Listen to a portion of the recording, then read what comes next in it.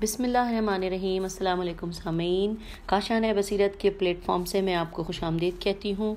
किताब इमाम मेहदी अलैहिस्सलाम विलादत से ज़हूर तक, जिसके राइटर हैं Ayatollah Sayyed Mohammad Kazem Kazemini और जिसका तर्जुमा किया है हजरतलाम मौलाना सैयद अदनान नकवी ने। और हम इस किताब को पढ़ते हुए पेज नंबर 54 पर पहुँचे हैं, जिसकी हेडिंग है कुरान में इमाम मेहदी सलाम के मुतालिक बशारतें।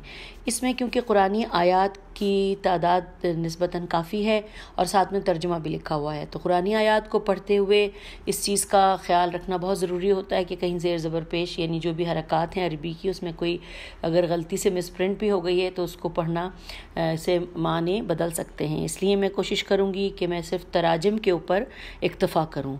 तो आइए आगाज़ करते हैं।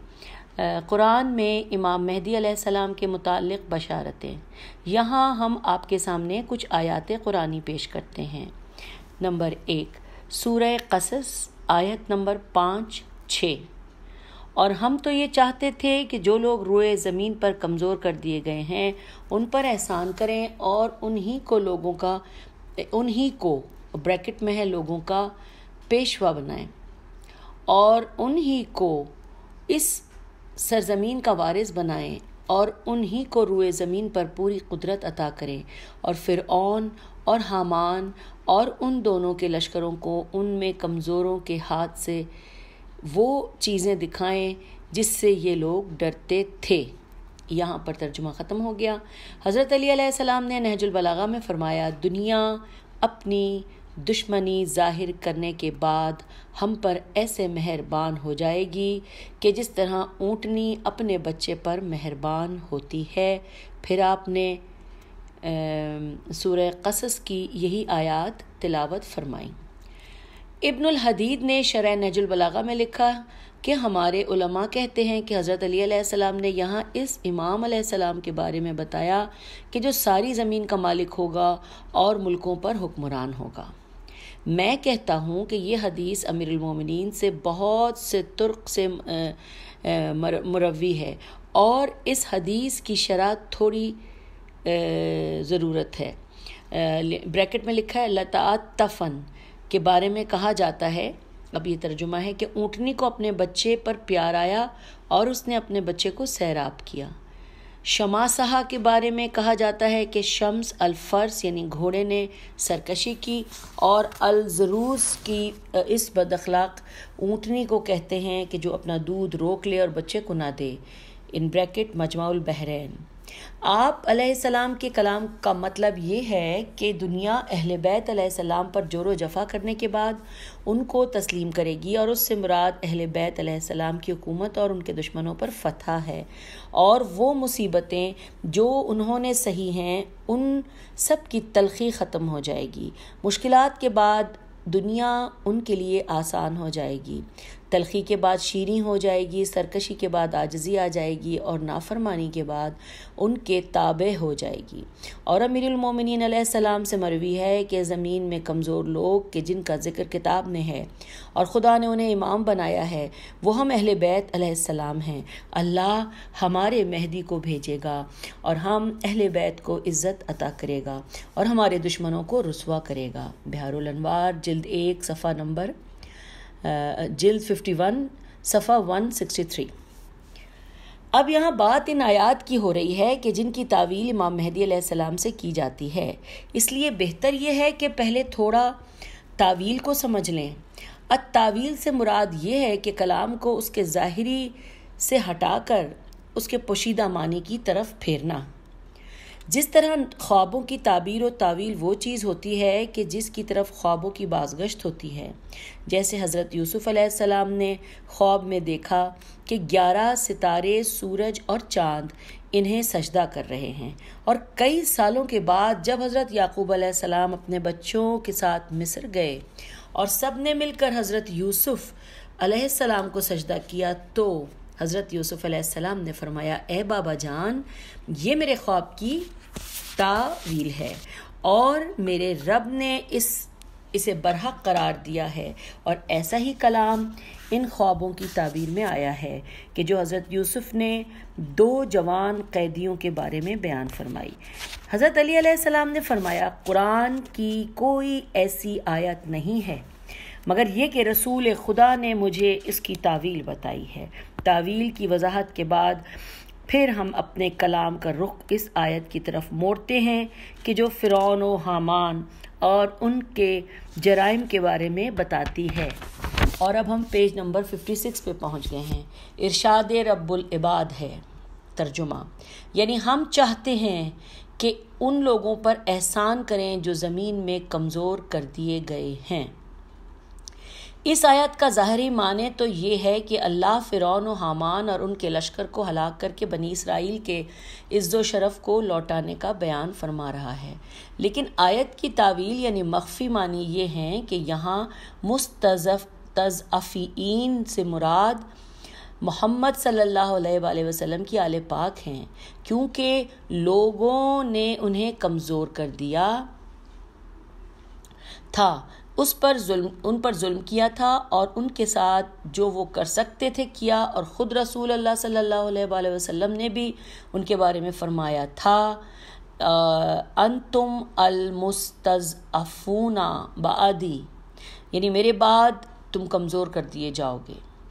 और मैं इस हकीकत को साबित करने की और मैं इस हकीकत को साबित करने की कोई ज़रूरत महसूस नहीं करता, क्योंकि तारीख़ इस्लामी गवाह है कि जब से रसूल खुदा सल्लल्लाहु अलैहि वसल्लम इस दुनिया से गए तो उनकी आल को कमज़ोर कर दिया गया। और अगर कारी मोहतरम को किताब, मकातल, तालिबी, तालिबीन वगैरह देखने का इतफ़ाक़ हुआ हो तो वो देखेगा कि हुकाम वक्त की तरफ़ से आल मोहम्मद सल्लल्लाहु अलैहि वसल्लम पर कैसे कैसे मसाइब आलाम के को हाय गरां टूटे।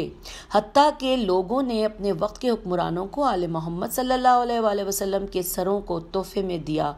ताकि इस फेल शनी से वो इन हाकिमों के दिलों को खुश कर सकें, जैसा कि जाफ़र बरमकी वग़ैरह ने ऐसे कारहाय स्याह अंजाम दिए। लेकिन खुदावंद बुज़ुर्ग का ये इरादा रहा कि वो इस मज़लूम ज़ुर्रियत मोहम्मद अलैहि वसल्लम और उनके शियों को ऐसी हुकूमत अता करे कि जो तमाम कुर्र अर्ज़ और जो कुछ उस पर है, को मुहित हो। ऐसी हुकूमत कि जिसकी हदें कुतब मुंजमद शमाली और कुतब मुंजमद जनूबी हों और जो तमाम अतराफ़ को घेरे हुए हो। और ये सिर्फ़ एक ही हुकूमत होगी जो सारी ज़मीन पर होगी और इसमें कोई मज़ाहमत करने वाला ना होगा। इसकी मज़ीद तफसीलात आगे आ रही हैं। यहाँ हम एक गुजारिश करके इस आयत के बारे में गुफ्तु को तमाम करते हैं और वो ये कि इसके ज़ाहिर से जो पता चलता है वो ये है कि नुरीदू अन नमुन्ना, यानी मुस्तबिल के सीगे में है और आयत का नज़ूल हज़रत मूसा सलाम और फ़िरौन के ज़माने से हज़ारों साल पहले बाद में हुआ।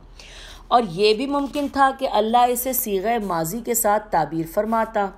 जैसा कि कई मकाम पर फरमाया है, लक़द मिनल्लाह अलमोमिन फ़मन अल्लाह और व लक़द मन्ना वग़ैरह। इन आयात में तो खुदा ने माजी का सीगा इस्तेमाल किया है, जब हमारे ज़ेर बहस आयत ने मुस्तबिल का सीगा इस्तेमाल किया है। यानी इस तरह पूरी आयत में छः सीगे मुस्तबिल के आए हैं। हो सकता है कि कोई कहने वाला एतराज़ करे कि फ़िरौन और हामान तो इस आयत के नज़ूल से हज़ारों साल पहले हलाक हो गए थे तो उसकी तावील मुस्तबिल के मानी में क्यों की जाती है? उसका जवाब यह है कि फ़िरौन हर जाबिर ज़ालिम बादशाह के लिए एक निशानी बन गया है कि जो जुल्म में हद से गुजर जाता हो बस हर ज़माने का एक फ़िरौन होता है और हर उम्मत में कई फ़िरौन होते हैं। इमाम मोहम्मद बाकर सलाम और इमाम जाफ़र सदक से इस आयत की तावील यूँ नकल की गई है कि इस आयत में फ़िरौन व हामान से मुराद क्रैश के दो ालिम और जाबिर अफराद हैं, जिन्हें खुदा बंद मताल आखिरी ज़माने में इमाम महदी सलाम के जहूर के वक्त ज़िंदा फरमाएगा और इमाम महदी सलाम इससे उनके मजालिम का बदला लेंगे। और फ़िरौन और हामान के लश्कर से मुराद इन्हीं दोनों कुरैशी ओबाशों के, ओबाशों, उनके पीरों और उनके मददगार, पैरों और उनके मददगार हैं। नीज़ जिन्होंने इनका ज़िक्र ज़िंदा रखा हुआ है, वो किताब अलबुरहान सैयद हाशिम बहरानी सूर कसस आयत नंबर 56 की तफसीर, ये ब्रैकेट में था। अच्छा जी, अब दूसरी आयत, पहली हमने पढ़ ली थी, अब दूसरी है आयत जो सूरह नूर की आयत नंबर 55 है, इसका तर्जुमा पढ़ते हैं। खुदा बंदे मताल ने उन लोगों से वादा फरमाया है कि जो ईमान लाए और नेक काम किए, कि वो इन्हें ज़रूर ज़मीन पर खिलाफत अता करेगा। जिस तरह उसने उन लोगों से पहले लोगों को खिलाफत दी थी और उनके लिए उनके दीन को मुस्तहकम करेगा और उनके खौफ को अमन से बदल देगा। वो मेरी इबादत करेंगे और मेरे साथ किसी को शरीक नहीं करेंगे। और जिसने इसके बाद नाशुक्री की तो यही लोग फासिक हैं। यहाँ पर ये शायद का तर्जुमा ख़त्म होता है। इस वक्त हम पेज नंबर 58 पर हैं। आइए आगे चलते हैं। ये भी इन आयात में से है कि जिनकी तावील इमाम मेहदी और हुकूमत मेहदी से भी से की गई है। और आयात का, आयत का ज़ाहरी मतलब ये है कि अल्लाह ताला ने इस उम्मत के मोमिन से खिलाफ से खिलाफत का वादा किया है।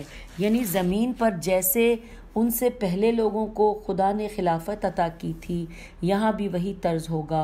और ये अकली बात है कि इंसान तो ज़मीन पर ही रहता है, चाहे खुशकी पर, चाहे तरी पर।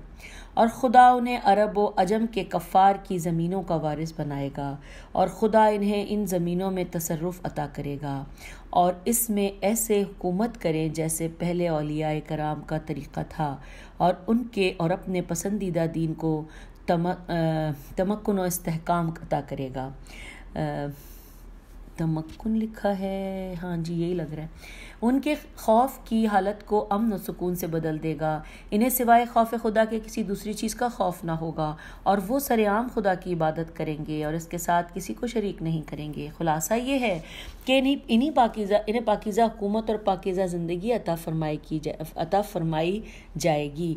यही इस आयत करीमा के ज़ाहरी माने हैं। हमारे अंदाजे के मुताबिक ये वादा वादा खुदाबंदी अभी तक महक्क और पूरा नहीं हुआ। कब मुसलमानों को ऐसी आज़ादी मैसर आएगी? और वो मोमिन कौन है कि जिनके साथ अल्लाह ताला ने ये वादा फरमाया है? अगर तारीख़ इस्लामी का मताल किया जाए तो पता चलता है कि 1400 साल से अभी तक ये वादा पूरा नहीं हुआ। और मेरे ख्याल के मुताबिक कोई इंसाफ पसंद मुसलमान ये अकीदा नहीं रखता, रख सकता कि उस, के आयत से मुराद उमवी व अब्बासी खलीफा हैं। क्योंकि तारीख शाहिद है कि उमवी और अब्बासी हुक्मरानों ने घिनावने जराइम का irतकब किया और खुदा के अलिया का खून बहाया। खुदा की हरमतों की तोहन की, उनके महलात तरह तरह की फहाशियों और गुनाहों से भरे हुए थे कि अगर हम इन जराइम की तफसील बयान करने लगे तो किताब अपने मौजू से निकल जाएगी और इसके बाद कब दीन खुदा मुस्तहकम हुआ ताकि खुदा का ये फरमान साबित हो जाए। और वो फरमान, क्योंकि इसका तर्जुमा नहीं है तो मैं कोशिश करती हूँ छोटा सा है कि अरबी के इन हरकत के साथ इसको पढ़ लूँ। वला युमक के नन्ना लहुम दीनहुम अल्लजी, अल्लजिर तज़ा लहुम बस ये इतना सा है, लेकिन कुछ हरकत इसमें मिटी हुई हैं और कुछ वाजे नहीं थी। अल्लाह करे कि मैंने सही पढ़ी हूँ और अगर नहीं सही पढ़ी है तो अल्लाह मुझे माफ़ करे। बेशक दीन इस्लाम हर ज़माने में मतरूक रहा है। जिससे हो सकता था वो इससे जंग करता था। आप चीनी ममालिक मुतहदा मुतहदा रूसी ममालिक और बाज़ अफ्रीकी और यूरोपी ममालिक की तरफ़ जाएँ तो मुसलमानों के खौफ का आलम मालूम होगा। जुल्म जौर इनकी ज़िंदगी के तमाम पहलुओं को घेरे हुए है। बाज़ लादीनी रियासतों में कुरान पाक की तालीम और तरवीज को ऐसा जुर्म समझा जाता है कि जिस जुर्म की वजह से इंसान सख्त तरीन सज़ा का हकदार होता है। कई लाख मुसलमानों के कत्ल के बारे में कोई नहीं पूछता कि उन्हें सिर्फ़ इस जुर्म में क्यों कत्ल किया गया है कि वो मुसलमान हैं। चीनी और रूसी चीनी और रूसी रूसी लिखा है ममालिक ममालिक में मुसलमानों को ज़िबा करने के लिए मखसूस मकाम बनाए गए हैं और मुसलमानों का खून बहाया जा रहा है। आज तक फ़िलिपाइन में मुसलमान तरह तरह के मजालिम का शिकार हैं और वियतनाम में कत्ल होने वाले मुसलमानों की तादाद को सिर्फ़ खुदा ही जानता है और इन्हें मालूम, और नहीं मालूम कि कितनी मस्जिदें घोड़ों के अस्तबलों, चरागाहों और गिरजाघरों में बदल गई हैं। अब हमारा सवाल ये है कि खुदा का ये वादा कब पूरा होगा और दीन इस्लाम तमाम अदियान पर गालिब आ जाएगा और सिर्फ़ खुदा वाहिद की इबादत बेखौफ ख़तर की जा सकेगी? हो सकता है कि कोई ये कहे कि फतूहत इस्लामी के बारे में जजीर अरब मशरक़ वस्ती के ममालिक नीज़ दीगर मुल्कों में इस्लाम गालिब आ गया था और वादा इलाही पूरा हो गया था। तो हम इस सवाल के जवाब में कहेंगे कि हम इसका इनकार नहीं करते। रसूल खुदा सल्लल्लाहु अलैहि वसल्लम के ज़माने में मदीना मुनवरा में इस्लाम की हुकूमत थी, लेकिन खुदा के इस वादे को इससे क्या रब्त? कि जो उसने इस आयत में मोमिनों से फरमाया है, क्योंकि इस वादे के मुताबिक इस्लाम की हुकूमत पूरी ज़मीन पर होगी और मुसलमान अपने दीनी शायर बिला खौफ व ख़तर कायम करेंगे और हर जगह इस्लाम की हुकूमत होगी। और ये वादा तो आज तक पूरा नहीं हुआ। आयमा अहल बैत ने इस आयत की तावील में बयान फरमाया कि ये वादा इमाम मेहदी के जहूर के वक्त पूरा होगा।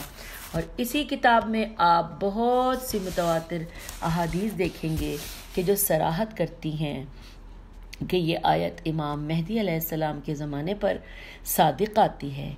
जैसे तफसीर मजमाउल बयान और तफसीर याशी वग़ैरह में इमाम अली इब्नुल हुसैन अलैहिस्सलाम से रिवायत है कि आप सलाम ने यह आयत तिलावत फरमाई और कहा, बखुदा इस आयत से मुराद हम अहल बैत सलाम के शिया हैं और ये वादा इलाही उन पर हम में से एक फ़र्द के ज़रिए पूरा होगा और वो इस उम्मत के मेहदी सलाम हैं और मेहदी सलाम ही वो हस्ती हैं कि जिनके बारे में रसूल खुदा ने फरमाया। अब जो आइए आगे पढ़ते हैं कि क्या फरमाया। इन्वर्टेड कॉमा में है। अगर दुनिया के ख़त्म होने से सिर्फ़ एक दिन बाकी रह जाएगा तो खुदा उस दिन को इतना तवील कर देगा कि उस दिन मेरी इतरत से एक फ़र्द आएगा, जो मेरा नाहम नाम होगा और ज़मीन को अदल इंसाफ से ऐसे भर देगा कि जैसे वो जुल्म जौर से भर चुकी होगी। इन ब्रैकेट, तफसीर मजमूल बयान, तब्रसी, जिल्द सात, सफ़ा नंबर वन फिफ्टी टू। और बिल्कुल ऐसा ही इमाम मोहम्मद बाकर सलाम और इमाम जाफ़र सदक सलाम से रिवायत किया गया है। फिर अल्लामा तबरसी रहमतुल्ला लिखते हैं कि इस बिना पर आमनु व आमलसालहात से नबी अकरीम, नबी अकरम सल्लल्लाहु अलैहि वसल्लम और उनके अहल बैत मुराद हैं। इसमें उनकी खिलाफत की बशारत मौजूद है और खिलाफत इमाम मेहदी के दौर में उनसे खौफ का उठ जाना मस्कूर है।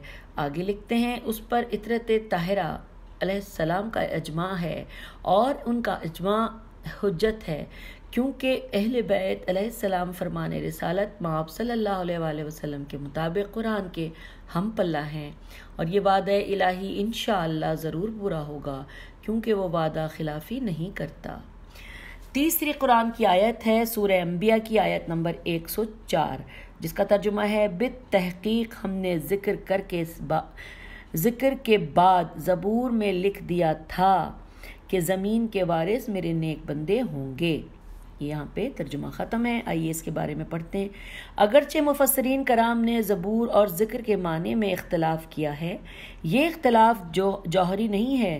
ख्वा ज़बूर से मुराद हज़रत दाऊद की किताब हो या आसमान से नाजिल होने वाले दूसरे सहीफ़े और ज़िक्र से मुराद, चाहे तौरेत हो या कुरान हो या लोह महफूज। सादा लफ्ज़ों में इसका मतलब ये है कि हमने लोह महफूज के बाद हज़रत दाऊद सलाम की किताब में ये लिख दिया था कि इस ज़मीन के वारिस मेरे नज़दीक बंदे होंगे। अलामा तब्रसी ने इस आयत के जैल में इमाम मोहम्मद बाकर सलाम से नकल किया है कि वो अल्लाह के नेक बंदे आखिरी ज़माने में इमाम मेहदी सलाम के पैरों हैं। मैं कहता हूँ कि जो बात अल्लाह ताला ने लोह महफूज और ज़बूर में ज़िक्र की है, उसका इनमें ज़िक्र होना इस मौजू की अहमियत को बताता है और बिलखसूस ये कि इसको ताबीर करने के लिए अल्लाह ताला ने कुरान में लक़द और अन जैसे हरफ ताक़द को इस्तेमाल फरमाया है। अगरचे मुफसरीन ने इख्तलाफ ज़िक्र किया है कि ज़मीन से मुराद जन्नत है, यानी जन्नत के वारिस नेक लोग होंगे, या यही ज़मीन है और मुसलमान फतूहत के ज़रिए इसके वारिस होंगे, यानी मुसलमान सारी ज़मीन के हाकिम होंगे। शेख तूसी ने अपनी तफसीर में इमाम मोहम्मद बाकर सलाम से रिवायत की है कि खुदा ने यह वादा मोमिनों से किया है कि वो उन्हें सारी ज़मीन का वारिस बनाएगा। इन ब्रैकेट अतबियान जिलसात सफ़ा नंबर 252 अपने मानी के लिहाज से ये सबका आयत इस्तलाफ वाली आयत से मिलती जुलती है। और इन दोनों आयतों में क्या ही खूब विरासत और खिलाफत की ताबीरें हैं। चौथी आयत है सूर तौबा की आयत नंबर तैंतीस। सूर तौबा आयत नंबर थर्टी थ्री, आइए इसका तर्जुमा पढ़ते हैं। वो वही खुदा है कि जिसने अपने रसूल को भेजा हिदायत और दीन हक देकर ताकि उसे तमाम अदियान पर गालिब करे ख्वा मुशरकों को ये नागवार ही गुज़रे। ये आयत करीमा कुरान में तीन मरतबा आई है जो इस मौजू की अहमियत को वाज करती है। तंजील और तावील के बारे में हम पहले बयान कर चुके हैं और इस आयत की भी तंजील और तावील है। और वो ये है कि अल्लाह ताला ने अपने रसूल हज़रत मोहम्मद मुस्तफ़ा सल्लल्लाहु अलैहि वसल्लम को तोहीद और हम पेज सिक्सटी टू पे पहुँच रहे हैं अब। तोहद और अखलास की हिदायत और दीन इस्लाम देकर भेज। बाकी तमाम अदियान पर गालिब करें। और अगर हम इस आयत को तावील की रोशनी में देखें तो मालूम होगा कि इलाही वादा अभी तक पूरा नहीं हुआ, क्योंकि ज़मीन के चौथे हिस्से से भी कम पर मुसलमान आबाद हैं और इस्लामी मुल्कों पर गैर इस्लामी कवानीन का राज है। अदियान बातला लोगों की ज़िंदगी का दस्तूर बन रहे हैं, बल्कि कुछ ममालिक में तो मुसलमान कमज़ोर अकलीत की सूरत में हैं और अपने नफ़ा और नुकसान के मालिक भी नहीं हैं। फिर कहाँ कहाँ का बातिल पर गलबा और कैसा इस्लाम का गलबा? आयम अहल बैत सलाम ने इस आयत की तावील में ज़िक्र किया है कि ये इमाम मेहदी सलाम के जहूर और ज़माने से मुतक़ है। इस बारे में कुछ अहादीस भी वारद हुई हैं, जैसे किताब मजमाउल बयान में अबाबा से मरवी है कि उन्होंने इमाम अमीरमिन से सुना कि वो फरमा रहे थे कि इसकी कसम, कि जिसके कब्ज़ कुदरत में मेरी जान है कोई बस्ती ऐसी नहीं बचेगी। मगर ये कि सुबह शाम इल्लाह की शहादत की निदा दी जाएगी। तफसीर बुरहान में भी ऐसा ही नकल हुआ है, मगर उसके साथ मोहम्मद रसूलुल्लाह का इजाफ़ा भी है। हज़रत इब्न अब्बास रज़ी अल्लाह से इस आयत के जैल में ये मनकूल है कि उस वक्त कोई यहूदी न यहूदी रहेगा, ना कोई नुसरानी। हर दीन वाला मुसलमान हो जाएगा। भेड़ को भेड़िए का खौफ ना होगा। गाय को शेर का डर ना होगा। इंसान और सांप एक साथ रहेंगे हती कि चूहा कपड़े को काटना छोड़ देगा। जजिया ख़त्म कर दिया जाएगा, सलीब तोड़ दी जाएगी और खंजीर मार दिए जाएँगे। और खुदा के इस कौल की तफसीर है। अब ये अरबी है, ये मैं ब्रैकेट में पढ़ूँगी और अल्लाह करे ठीक पढ़ूँ। ले युन जहरा अलद्दीन कुल्लही वलाओ कर रहिल मुशरकून। ये उस वक्त होगा कि जब इमाम ज़माना क़याम फरमाएँगे। इन ब्रैकेट अलबुरहान, जिल्द चार, सफ़ा नंबर थ्री ट्वेंटी नाइन आगे चलते हैं। तफसीर बुरहान में किताब अलकाफ़ी से रिवायत ली गई कि अभी फ़जील ने इमाम मूसा काजिम के सामने ये आयत होवल्लजी अरसला की तिलावत की।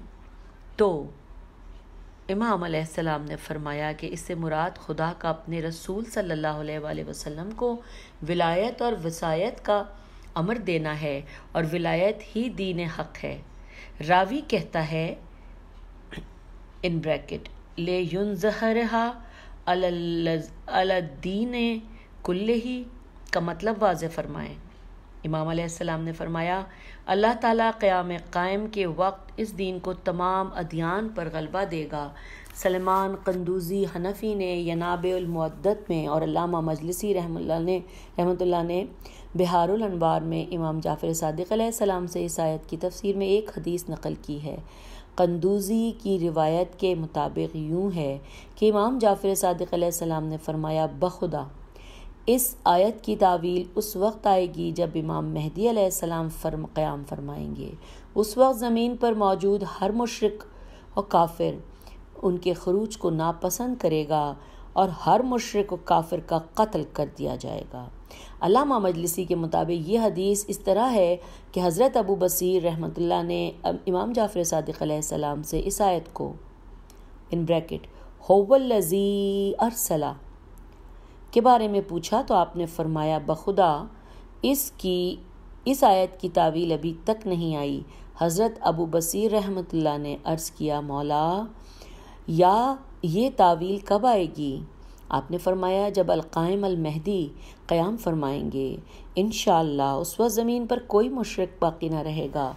हम इन्हीं चंद आयात पर इक्तफ़ा करते हैं और ये भी वाज करते हैं कि हमने सिर्फ़ चंद आयात तो अहादीस यहाँ ज़िक्र की हैं।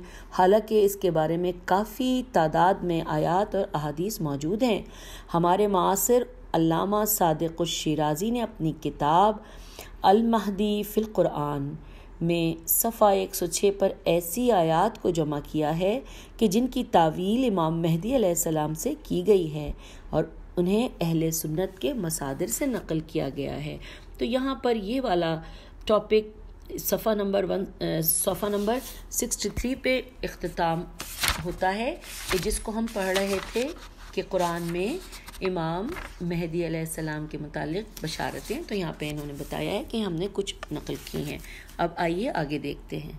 सामीन, पेज 64 पे अब हम हैं और तीसरी फ़सल का आगाज़ हो गया है इस किताब में और इसकी हेडिंग है, जिस टॉपिक को हम पढ़ने जा रहे हैं, वो है इमाम मेहदी सलाम के बारे के बारे में अहादीस की बिशारतें। ये बहुत इंपॉर्टेंट है, ये भी आइए हम अहादीस का मुताल करते हैं। इमाम मेहदी सलाम के बारे में रसूल खुदा अलैहि वसल्लम ने मरवी अहादीस में बहुत ज़्यादा के बारे में अहादीस बहुत ज़्यादा हैं। कुछ हम गुज्त अभास में ज़िक्र कर चुके हैं और कुछ को अब बयान करते हैं। इमाम मेहदी सलाम के बारे में रिवायात अहल सुन्नत की किताबों में मुतद असनाद और मुख्तलिफ़ मजामी में नकल हुई हैं। कभी रसूल अक्रम सल्लल्लाहु अलैहि वसल्लम उन्हें बारह बारह आइम्मा में सलाम में एक इमाम के उनवान से पेश करते हैं, कभी उन्हें औलाद फ़ातिमा सलाम से बताते हैं और कभी ख़बर देते हैं कि इमाम हुसैन सलाम के सुल्ब से नवें बेटे और इमाम अलैहिस्सलाम होंगे। और आप इस बाब और आने वाले अबाब में देखेंगे कि रसूल सल्लल्लाहु अलैहि वसल्लम ने मुख्तलिफ़ मकामात और मुख्तलिफ़ मुनासिबतों से इमाम मेहदी अलैहिस्सलाम का ज़िक्र फरमाया, ताकि इस मौजू की अहमियत वाज हो सके। इस बारे में अहादीस काफ़ी ज़्यादा हैं। हम उनमें से चंद एक पर इक्तफ़ा करते हैं। पहली हदीस, हज़रत सईद बिन जबीर ने हज़रत इबन अब्बास रहमतुल्लाह से नकल किया है कि रसूल खुदा ने फरमाया, मेरे बाद मेरे खुलफा, मेरे औसिया और मखलूक पर खुदा की हजत बारह हैं, जिनके पहले मेरे भाई हज़रत अली हैं और आखिरी मेरे बेटे इमाम मेहदी हैं। पूछा गया, या रसूल अल्लाह आपका भाई कौन है? आपने फरमाया, अली इब्ने अबी तालिब अलैहिस्सलाम। पूछा गया, आपका बेटा कौन है? आपने फरमाया मेहदी अलैहिस्सलाम कि जो ज़मीन को अदल इंसाफ से इस तरह भर देगा, जिस तरह वो जुल्म जौर से भर चुकी होगी। इस ज़ात की कसम कि जिसने मुझे हक़ की बशारत देने वाला बनाकर भेजा, अगर दुनिया का सिर्फ़ एक ही दिन बाकी बचेगा तो खुदा बंद मताल इस दुनिया को इतना तवील करेगा कि हती कि इस, उस दिन मेरा बेटा मेहदी अलैहिस्सलाम खरूज फरमाएगा। हज़रत ईसा अलैहिस्सलाम रूहुल्ला आसमान से नाजिल होकर उनके पीछे नमाज़ अदा करेंगे। Page sixty five. इस ज़मीन में अपने रब के नूर से ज़मीन अपने रब के नूर से मुनवर हो जाएगी और आप अलैहिस्सलाम की हुकूमत मशरक़ व मगरब तक फैल जाएगी। ब्रैकेट फ़राइदुलमस्तीन जिल दो। दूसरी हदीस, हज़रत हुजैफ़ा रज़ी अल्लाह से रिवायत है कि रसूल खुदा ने फरमाया मेहदी अलैहिस्सलाम मेरे बेटों में से एक फ़र्जंद है, उनका चेहरा मुबारक, चमकते हुए सितारे की मानंद है। इन ब्रैकेट, किंजुल आमाल। तीसरी हदीस। हज़रत हुजैफ़ा से रिवायत है कि रसूल खुदा ने फरमाया, मेहदी सलाम मेरे फ़र्जंद हैं, उनका चेहरा रोशन सितारे की तरह है, उनका रंग अहल अरब के रंगों की तरह है और उनका जिसम इसराइल वालों के जिसम की तरह है। वो ज़मीन को अदल इंसाफ से भर देंगे, जैसे वो जुल्म से भर चुकी होगी और उनके की खिलाफत को आसमान वाले फ़ज़ा, आसमान वाले और फ़ज़ा में मौजूद परिंदे तक पसंद करेंगे और वो बीस साल हुकूमत फरमाएँगे। In bracket अलमुसदर अकदुद्दर, अकदुद्दरर। अब चौथी हदीस है, इमाम मोहम्मद बाकर सलाम से रिवायत है कि उन्होंने अपने आबा से, उन्होंने अमीरमिन हज़रत अली सलाम अपने अबी तालिब से रिवायत की है कि रसूल खुदा ने फरमाया, मेहदी सलाम मेरे बेटों में हैं, में से हैं। उनके लिए ज़मान गैबत होगा और ऐसी हैरत होगी कि उम्मतें इसमें गुमराह हो जाएँगी। वो अम्बिया के ज़ख़ायर, ब्रैकेट तबरुकात ब्रैकेट क्लोज़ लेकर आएँगे और ज़मीन को अदल इंसाफ से यूँ भर देंगे जैसे वो जुल्म से भर चुकी होगी। ब्रैकेट फ़रायदुल मुस्तीन। नंबर पाँच, पाँचवीं हदीस है, सलमान अल कंदूजी ने हज़रत अबू बसीर रहमतुल्लाह से रिवायत की है और उन्होंने इमाम जाफ़र सदक सलाम से, उन्होंने अपने आबा से और उन्होंने हज़रत अली सलाम से रिवायत की कि रसूल खुदा सल्लल्लाहु अलैहि वसल्लम ने फरमाया मेहदी सलाम मेरा बेटा है, वो मेरा हम नाम है, उसकी कुनीत मेरी कुनीत की तरह है और दूसरे, वो दूसरे लोगों से ज़्यादा मुझसे अखलाक और खिलकत खिलकत में मिलते जुलते हैं। उनके नज़दीक ज़मान गै, ज़मान गैबत होगा। लोग उनके बारे में हैरान होंगे कि हती कि लोग अपने अदियान से फिर जाएँगे। उस वक्त आप सलाम चमकते हुए सितारे की मानंद आएँगे और ज़मीन को अदल इंसाफ से यूँ भर देंगे जैसे वो जुल्म ज़ोर से भर चुकी होगी। पेज 66 और छठी हदीस।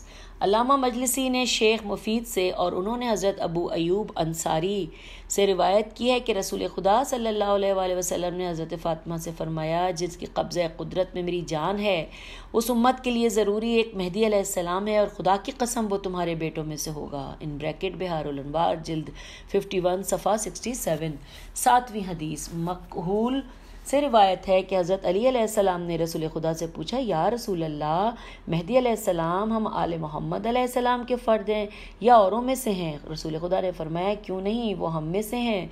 जिस तरह खुदा ने दीन को हमसे शुरू किया, वो इसे हम पर ही ख़त्म करेगा। वो और हमारी वजह से लोग फितने से निजात पाएँगे कि जिस तरह वो शिरक से बच गए। और हमारी ही वजह से खुदा फितने की दुश्मनी के बाद लोगों के दिलों में भाइयों की सी मोहब्बत डाल देगा कि जिस तरह उसने शिरक के बाद उनके दिलों को मिलाया था और हमारी ही वजह से वो अदावत के फितने के बाद भाई भाई बन जाएँगे कि जिस तरह शिरक के बाद वो भाई भाई बन गए। ब्रैकेट, बिहारुल अनवार, जिल्द पाँच।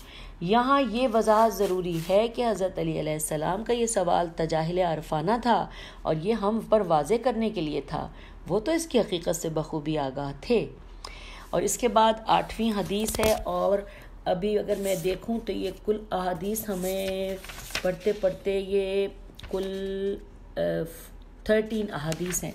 तो फिर सामीन हम ऐसा करते हैं कि हम हदीस नंबर हमने सात जो अभी यहाँ मुकम्मल किए, यहाँ रुक जाते हैं और अगली ऑडियो में हम आठवीं हदीस से स्टार्ट लेंगे। तो आइए मिलते हैं अगली हदीस के लिए। इसी सफ़े से पेज सिक्सटी सिक्स से ही आगाज़ करेंगे अगली ऑडियो में। फ़ी अमान अल्लाह।